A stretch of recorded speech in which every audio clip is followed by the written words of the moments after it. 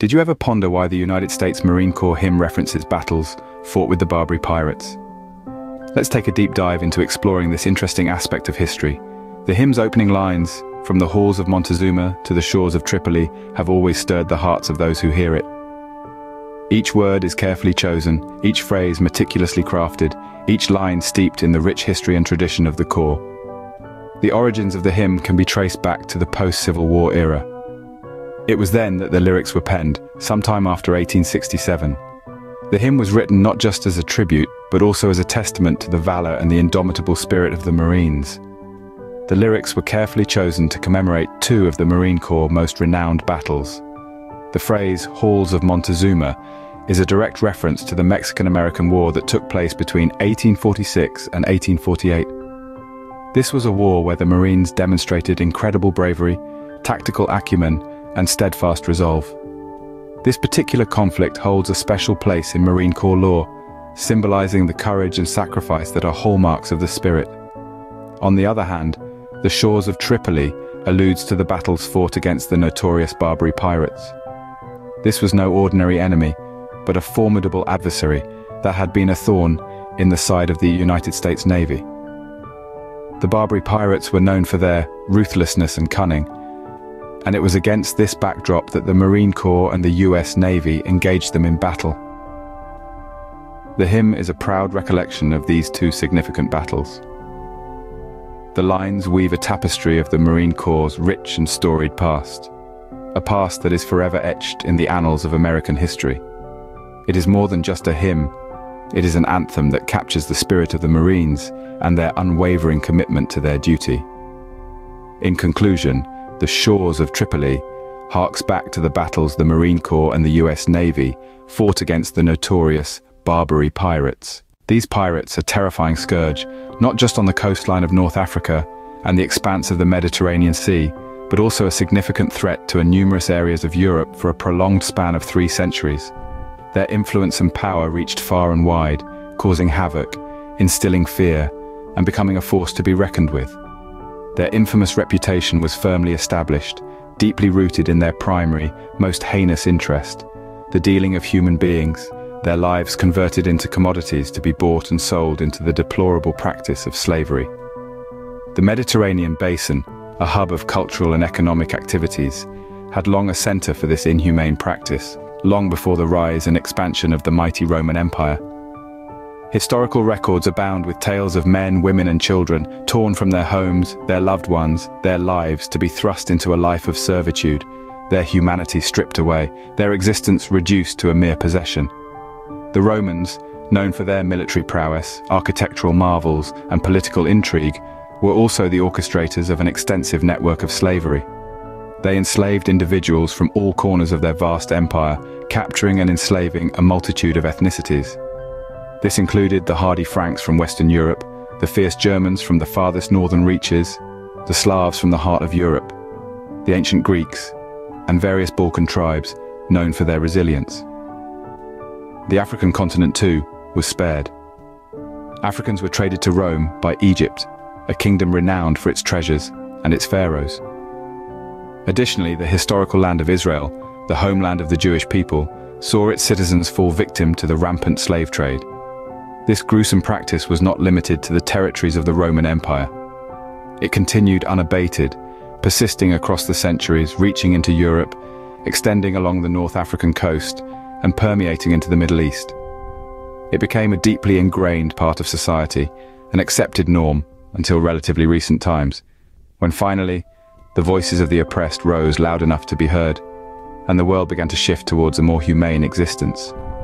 These pirates were a terror, not only on the coast of North Africa and the Mediterranean Sea, but also to a large part of Europe for three centuries. Their infamous reputation was rooted in their primary interest, human beings to be sold into slavery.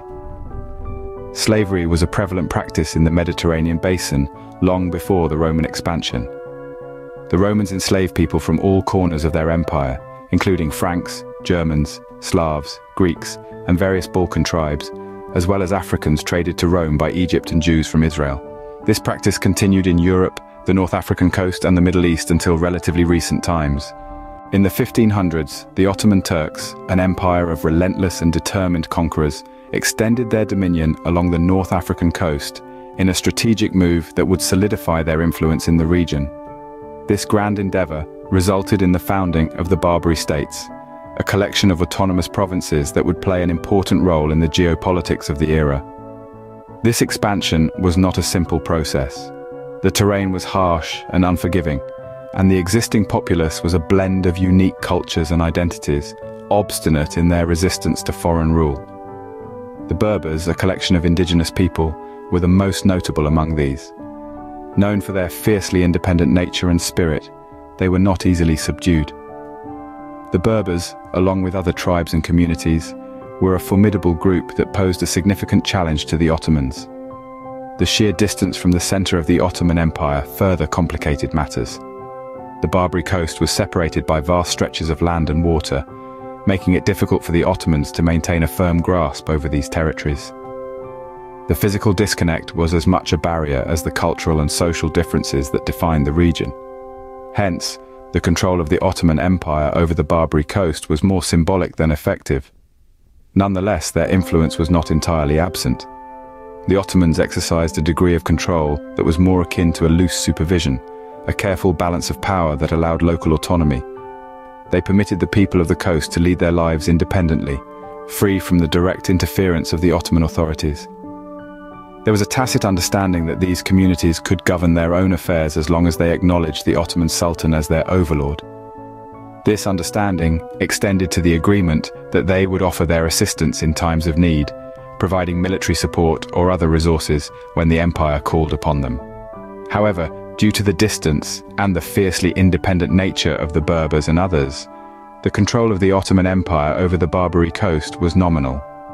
They allowed the people of the coast to live independently, provided they recognized the Ottoman Sultan as their overlord and offered assistance when called upon. The Barbary pirates were not just locals. They were more than that, far more. With the passage of time and the changing course of events, they evolved into a fraternity that welcomed not only locals, but also many from foreign lands.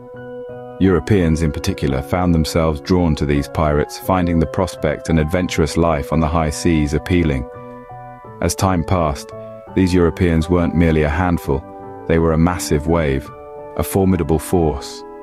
These were not your stereotypical pirates. They were men, and occasionally women, from diverse walks of life, all seeking a drastic change from the mundane existence they were used to. They came from different countries, bore different names, spoke different languages, and yet they all became a part of the Barbary pirates. They were akin to today's mercenaries, soldiers of fortune who were not bound by nationality or faith. Their sole purpose was seeking adventure and acquiring quick riches. The lure of easy money, the thrill of living a life filled with danger, the opportunity of making a name for themselves in the annals of piracy. These were the factors that attracted these Europeans to the Barbary pirates. They of the monotony of their lives, tired of the societal norms that bound them, and thus they sought an escape, an escape into the world of piracy. Contrary to popular belief, joining the ranks of the Barbary pirates was not an easy task. It required grit, courage, and an unyielding spirit. However, the rewards were plentiful for those who were brave enough to take the risk. They found in piracy a life of excitement, a life of uncertainty, a life of endless possibilities. The arrival of these Europeans transformed the Barbary pirates into an eclectic mix of individuals. This amalgamation of diverse personalities, skills and experiences further fueled the Barbary pirates' notoriety. It made them a force to be reckoned with. Their reputation spread far and wide, making their brutal reign on the Mediterranean Sea even more infamous. This eclectic mix of individuals further fueled the Barbary pirates' notoriety and their brutal reign on the Mediterranean Sea. In summary, the reference to the shores of Tripoli in the United States Marine Corps hymn is a nod to the battles fought against the infamous Barbary pirates. These pirates, a blend of locals and European adventurers, terrorized the Mediterranean Sea and beyond for three centuries. Their primary interest in human slavery marked a dark chapter in history, one that the United States Marine Corps played a role in ending.